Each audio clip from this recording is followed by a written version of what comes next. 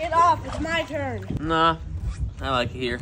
Get off or I'll make you get off. Go ahead, make me. Dad, Ethan won't get off the paddleboard and it's my turn. Figure it out.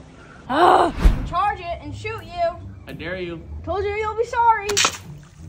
Didn't do anything. Here comes the cannonball. Still nothing. This'll work. Hey, what are you doing back there? You're about to get torpedoed, Ethan. Hello? Hello?